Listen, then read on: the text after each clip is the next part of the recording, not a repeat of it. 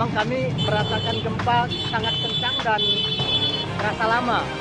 Eh, warga yang berada di pinggiran pantai sudah lari ke airnya gimana bu?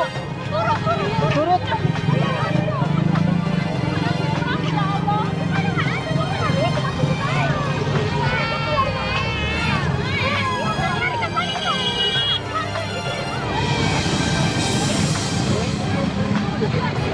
gimana air sana?